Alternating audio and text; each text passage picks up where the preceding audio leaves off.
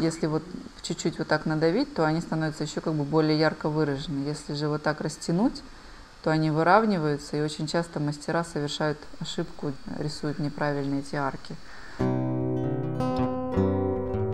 Когда я работаю на губах, я ставлю пальцы а, примерно вот так, чтобы не исказить, но опять-таки, да, чтобы все было ровно и натянуто, не натянуто, вернее, а как бы рельеф более выражен. Тогда по ребру идя очень удобно а, фиксировать эскиз. Но губы бывают разные, и иногда это не работает. Если мелко морщинистые губы, и надо выпрямить поверхность, чтобы на них штриховать, я могу поставить палец вот таким образом, чтобы чуть-чуть подвывернулась губа, и большим пальцем на себя натянуть, чтобы вот эта линия стала ровная. Причем тут кожа не натянута особенно, она просто выровнена. Мне хорошо видно вот эту линию, по которой я буду рисовать. И таким образом я фиксирую вот эту часть. А, домики, арки Купидона, как их называют, я фиксирую либо вот таким образом, когда губы позволяют, то есть тоже по ребру я прохожу, я четко вижу рисунок.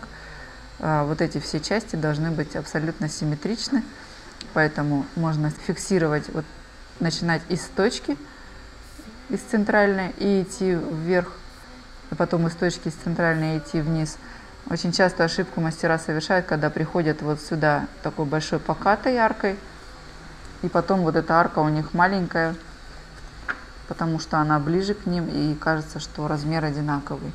Но на самом деле лучше всего из центральной точки абсолютно симметричные вот эти треугольники, чтобы не потерять их э, длину вот в этой части.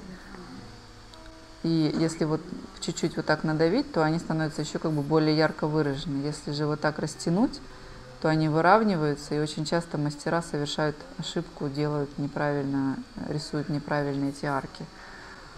Но, в общем, а, я могу фиксировать и вот так вот полностью все губы. То есть мы а, фиксирующей пудрой мажем губы, я могу ставить на эскиз спокойно свои пальцы, как мне угодно, как мне удобно. Поэтому я могу его таким образом фиксировать, когда я как бы вот так придерживаю валик, давлю ну, указательным и большим пальцем, он становится выпуклый и на нем очень легко рисуется рисунок. Поэтому ну, постановок рук очень много на самом деле. А самое главное, чтобы вот эти места были абсолютно одинаковые. Еще для этого мы садимся в процессе. Потом я отворачиваю губу от себя, ой, лицо от себя. Вот таким движением пальца я как бы надавливаю, чуть-чуть она выворачивается, и от себя а, указательным пальцем и на себя большим пальцем. Линия выравнивается, и я четко вижу, куда она должна прийти. Потому что очень часто мастера вот так и фиксируют, доходят, и вот здесь им плохо видно, они бросают, потом у них здесь целый пол сантиметра непрокрашенной кожи и не зафиксированного эскиза. Либо, если вы уже все зафиксировали, можно вот так от себя натянуть, прям поставив на губу, и тоже очень хорошо видно линию. Если вы не фиксируете пудрой, то надо ставить на подбородок, чтобы не потерять эскиз на нижней губе. На нижней губе, чуть-чуть приоткрой губы, я э, ставлю на губу прям указательный палец и безымянным пальцем рабочей руки натягиваю чуть-чуть кожу, чтобы губа подвывернулась, и мне видно было прям начало, откуда я буду фиксировать эскиз. Это также надо делать, не искажая формы. То есть если я сделаю вот таким образом, натяну, я нарисую здесь, отпущу, и у меня будет такая э, неправильная дуга, обиженный рот. Поэтому основная ваша задача это немножко распрямить складки, когда вы фиксируете губы, и держать свои пальцы таким образом, чтобы не искажался рисунок, чтобы он был прям вот идеальная арка была. Когда вы дошли до середины, вы можете поставить вот сюда палец, чуть-чуть вывернется вот эта часть, станет ее хорошо видно. И точно так же не натягивая, потому что ну, на контуре я не натягиваю чаще всего, когда фиксирую прорисовать нижний контур.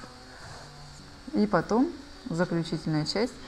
То же самое я видела, как мастера ставят вот так, вытягивают арку, фиксируют, отпускают. У них здесь такая обиженная губа младенца получается. Или вообще просто кривая. Я ставлю средний палец на прокрашенную же часть, под себя натягиваю и большим пальцем на себя. И мизинцем вот так чуть-чуть выворачиваю, чтобы линия открылась, но не была искажена. И вот таким образом фиксирую мелкими штрихами. Один вариант. Второй вариант можно вообще просто вот так вот равномерно вытянуть большим пальцем и тоже вот так прокрасить. Очень удобно. Ну, их много. Я каждый раз на каждых губах а, использую разные способы, потому что, в принципе, раз, по-разному удобно ставить руки на разного размера лицах и разной кожи. Ну, вот такие основные. А потом вы, вы должны обязательно сесть и проверить по симметрии, потому что лежа, еще и глядя сбоку, не очень понятно, насколько симметричны губы. Перед тем, как прокрашивать, обязательно сядьте, посмотрите.